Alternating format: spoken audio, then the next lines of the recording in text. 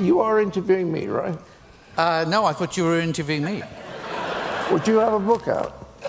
Uh, no, I don't have a book out. No. Well, I've got a book out, you see. That's why I want you to interview me. Right? so Have you read it? Um, well, yes, I have actually. You have. Yes, I, I didn't want to spoil it by reading it, but I did read it. Um, and I, I actually very much enjoyed it, and I genuinely mean that, Oh, because Y- yes. it's very well written. I have openly advocated for you to write about me. Because I think that if Michael Lewis writes about you, then you're set for life.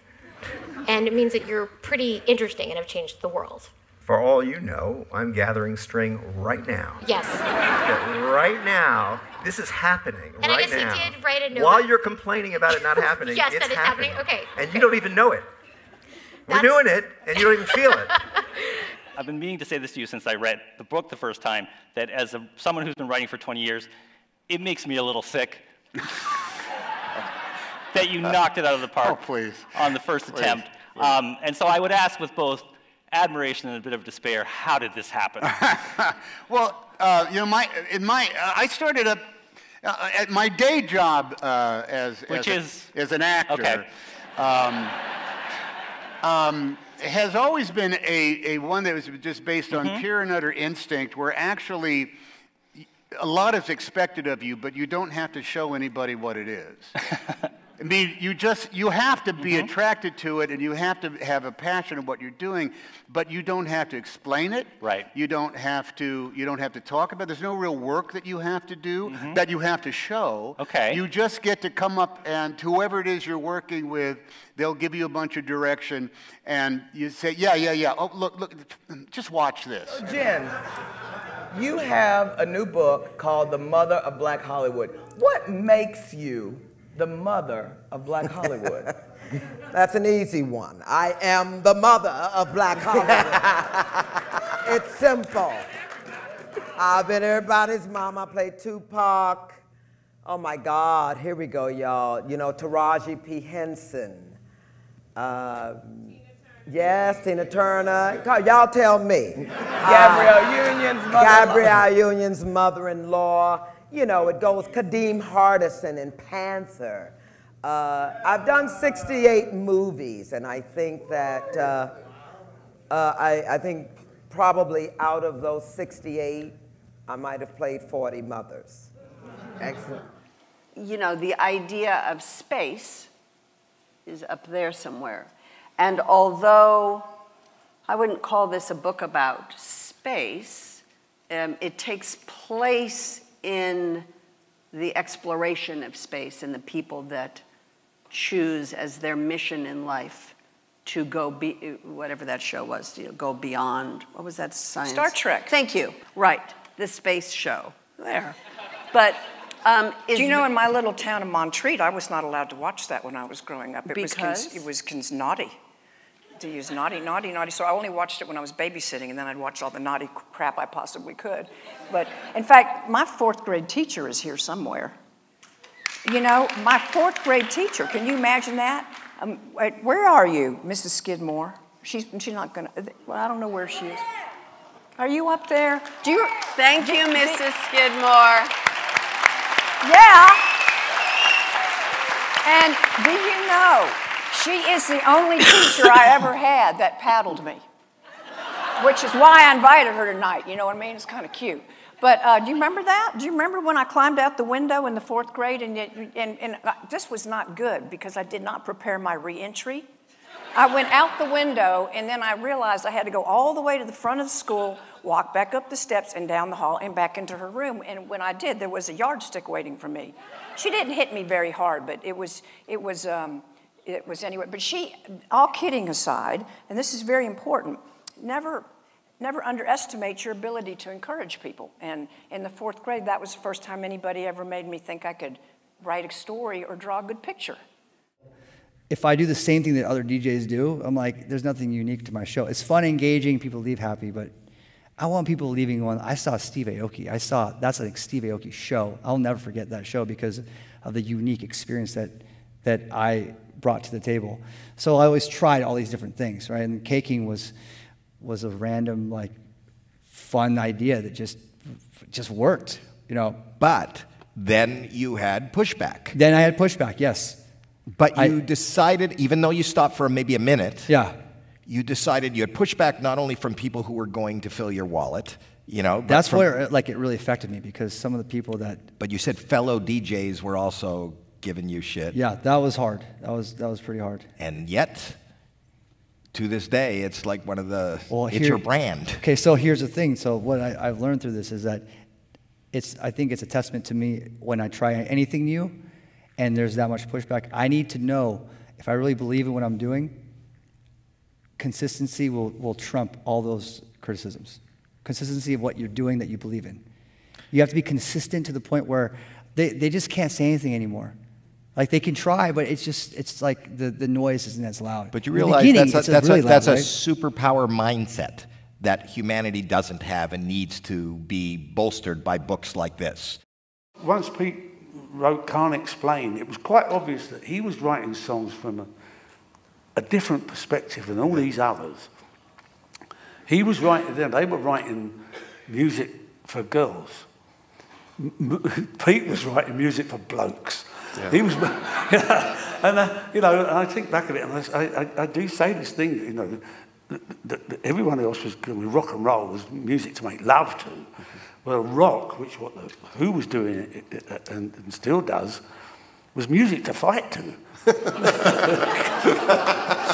and Pete, but, and Pete understood that, and he was so he's writing these songs for my generation anyway, and how anywhere. It's got kind of arrogance about it that isn't there in rock and roll, and the beat is on the one, you know, because instead of it going, Yeah. you get the gist. Yes. It's, it's I, I became isolated from Pete. Uh, it, it, you'd have to read the book. I can't talk too much about I did read because the I'm book. Gonna, I'm going to take. Yeah, but I'm going to. If I tell them, Yeah. then they're going to know the bloody book before they get home. Do you want to talk about my career for a while? Well, should we talk about your book? We don't want to give away the whole book. from a really young age, like the age of five, you wanted to be an artist. And I was curious as to what, like when you were a child, what that meant to you and how that vision sort of changed over time. Like what, and, and, and what you were doing when you were a kid. Um, I was working in clay. But, but I mean, that's. I mean, uh, I you know I went to this lab school at um, UCLA called UES. It was called UES then. Now it's called the lab school, and it was all learned by doing. So that all um, that was my introduction into the world. That this is that to me was normal. That you um, when you were learning something, you kind of embraced it with your body and your heart and soul and your mind. And you know you made stuff you enacted cultures. I forget exactly what year it was but um, we Thurston and i were coming out here a lot because my parents lived here and we went to um, a house party in um, uh, hermosa beach. And um, it was uh, you know it's very like suburban neighborhood. And we went in the kitchen and black flag were playing in the living room and henry was like in the kitchen singing and people were just like standing around him and he was like coming up right up to me and like writhing all over me and just and, uh, and uh, it left an impression. Like i was like that this is the best concert I've ever been to.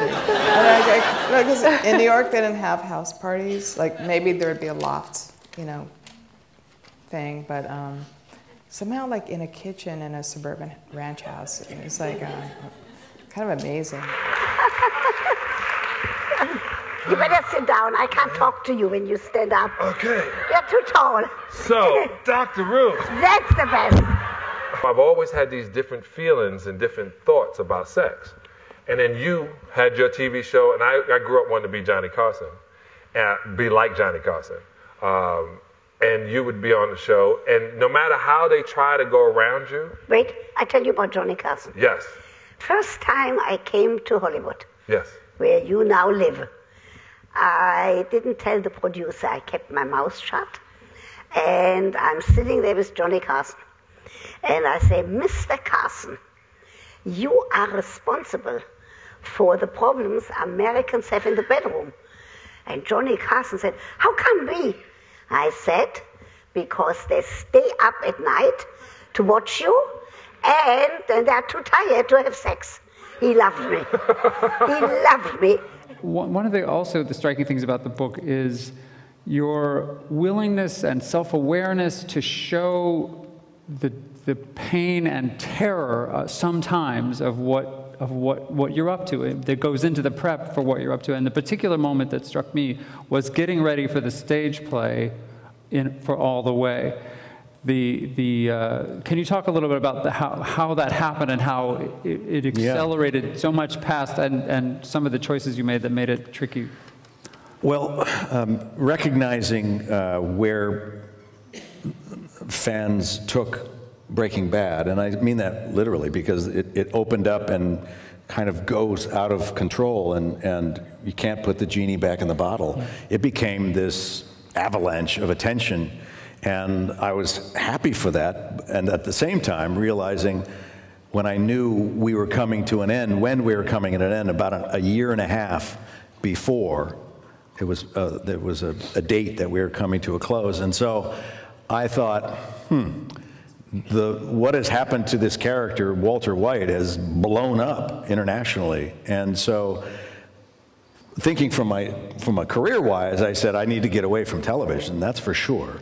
I can't possibly try to introduce some other character too close to to that. So uh, I I want to go do some theater. So I alerted the agency and, and I said I'm looking for a, a play to do uh, in 2013 when we close the last episode in April. Well, our last shoot was April 5th or so, uh, 2013. And my agents called back and said, We found it. It's called All the Way, and it's the story of the first year of the presidency of Lyndon Johnson. And I thought, Oh my God, that guy.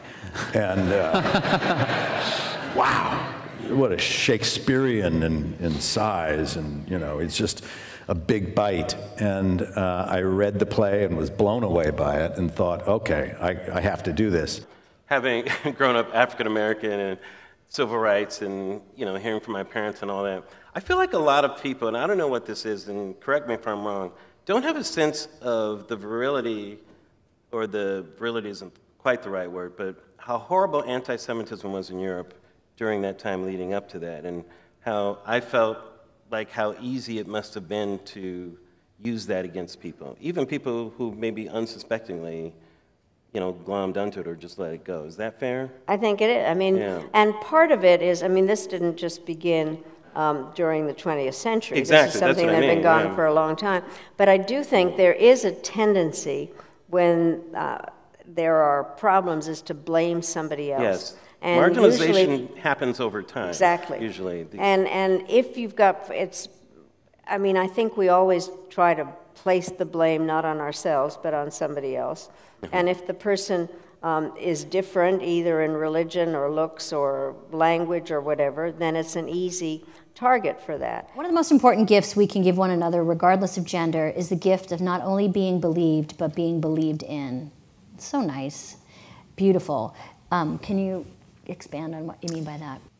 not just having our stories and our narratives believed, but seeing ourselves as not just risks, but as people to be invested in, as ideas to be invested in, with careers to be invested in, with points of view to be invested in. Um, I think that that's one of the biggest struggles uh, that we see is women are constantly feeling like we are this risk factor, that we are ultimately um, not choosable, we're not electable, we're not um, believable. Um, and all of those are deeply tied to ancient, ancient sexist propaganda and language. I mean, dating back to the Roman Empire. Kareem, this book talks a lot about things that people don't like to talk about race, religion, and politics. You took that big giant leap here. Where did that come from? Um, it's something that we have to talk about because there are problems in those areas that we have to solve.